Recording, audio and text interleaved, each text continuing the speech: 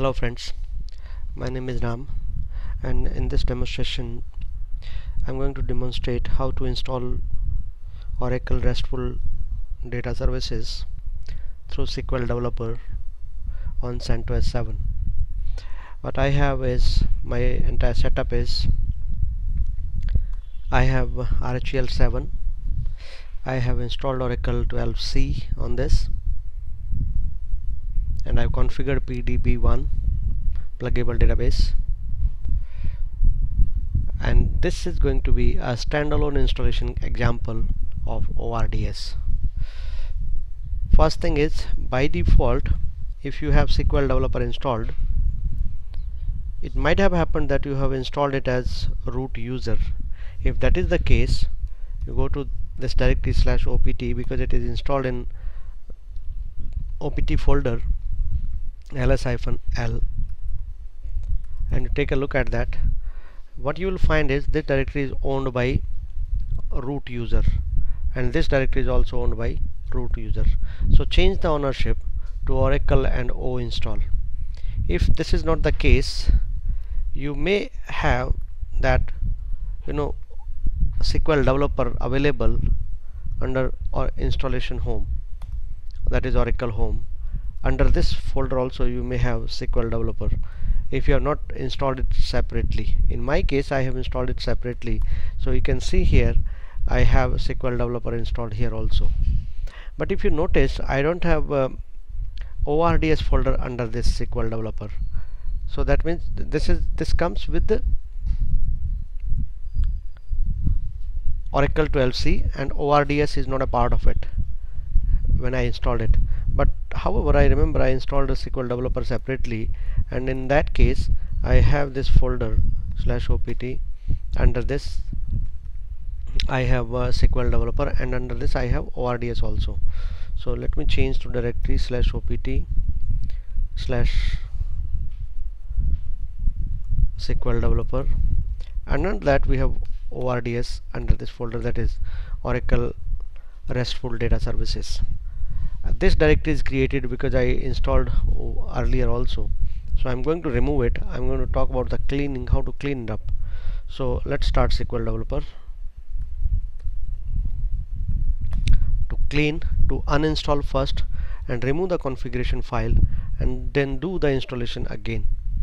So this is Oracle SQL Developer 19.1 and this example is a standalone example standalone installation of uh, Oracle RESTful data services.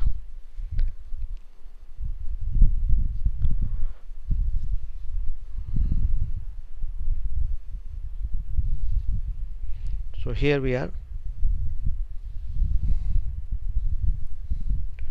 So we can see that uh, PDB1 is there HR schema is there. So we have all these settings. We can get these kind of errors but that's not a problem. I can run it again. That should not be the issue and even if it fails uh, sometimes Java related error comes and it fails to start. That's fine but it's not fail always. Let's take a look at once again I'm starting it.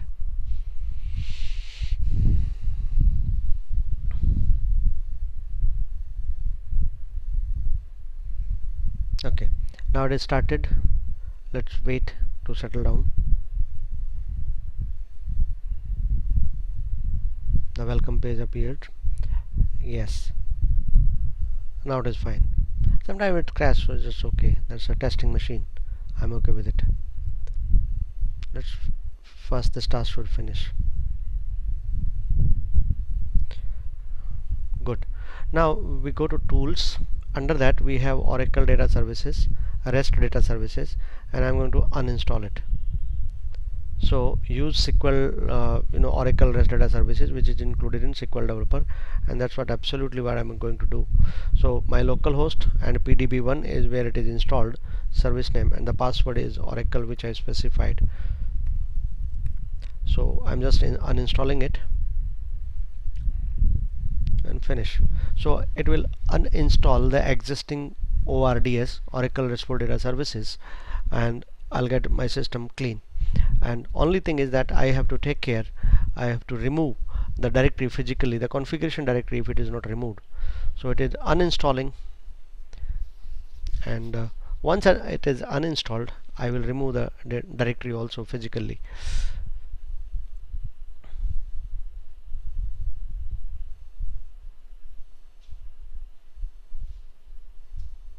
Just uninstalling it. Yes done uninstall complete. Now we can go and take a look at the directory. If it is not removed we are going to remove that because sometimes that create problem. So let's do that. In fact we can close the SQL developer now if it is uninstalled. And let's go to the directory opt slash SQL developer and ords the configuration directory is not removed so it will conflict while uh, doing new installation. So let's remove it. Rm-rf ords config.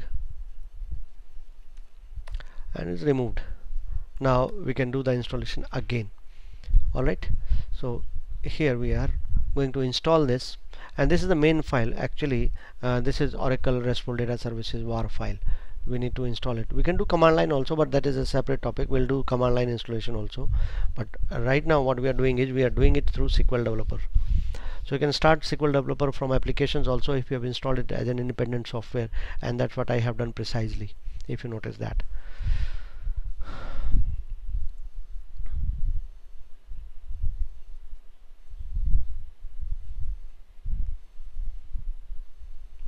So Oracle SQL developer starting now hope it is started yep. It should not crash. Let's wait for a few seconds till it comes.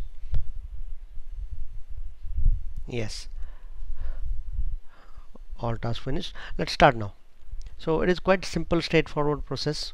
Let's go to tools REST data services and click on install.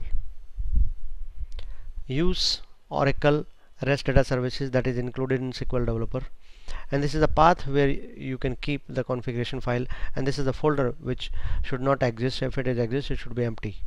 So even if it is, does not exist it will give a warning and it will create it. So let's create the folder.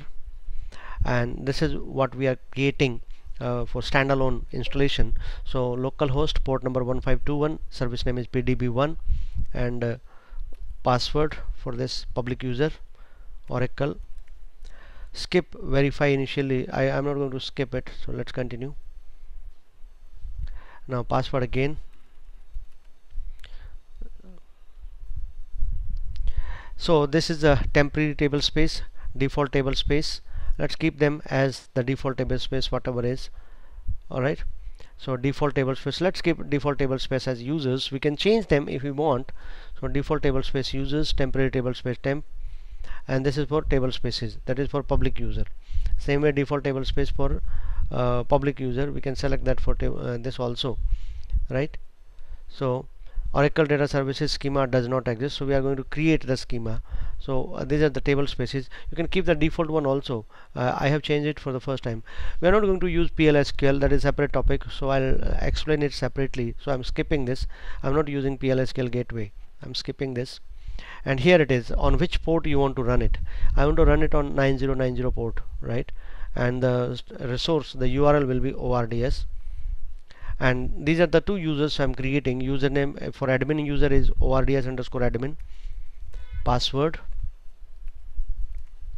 And this is the developer user that is ORDS underscore DEVEL or you can keep any user whatever you want. Oracle so password. Require socket secure socket layer. I don't want SSL so I want to keep it simple. And finish. So it will do the installation. And you can see the installation now. Uh, installation will start and you can see the logs here. So let's finish it.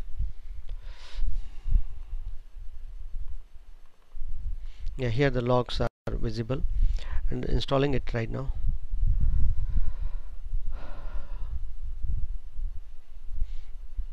so it is working on it. Once it is installed it's still working. Created Oracle REST data services granted privileges. And it's that straightforward that easy uh, installation. And once it's started we can see the process list also. And uh, under that process will be running. Created Oracle data services. We'll see the message completed. So let's wait for a few more seconds it not take it does not take much time. Log file. Still working.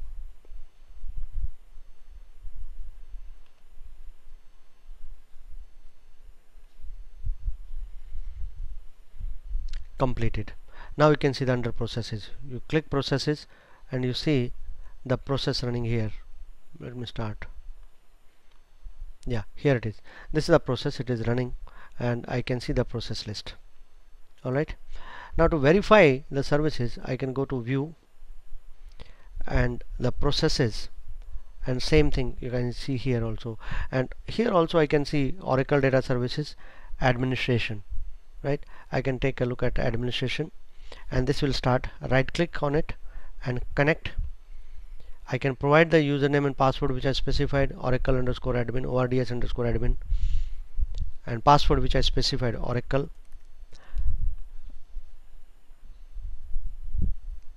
Now it is connected. Let me maximize it. So here I'm connected. So you can see the different settings so ORDS administration. So you can see the global settings default password security settings. Now Oracle data services Oracle RESTful data services are installed on my standalone server which is Oracle 12c right? And this is how we can do the installation. So installation part is now complete. And that's all about the uh, this session where I have done the uh, successful uninstallation of existing ORDS and installed a fresh ORDS on this. Another next step would be uh, that how to enable the data service is on a schema and a database that is a complete database and the individual uh, tables. That we will see in the next session. Alright that's all for the session. Thank you so much. Bye bye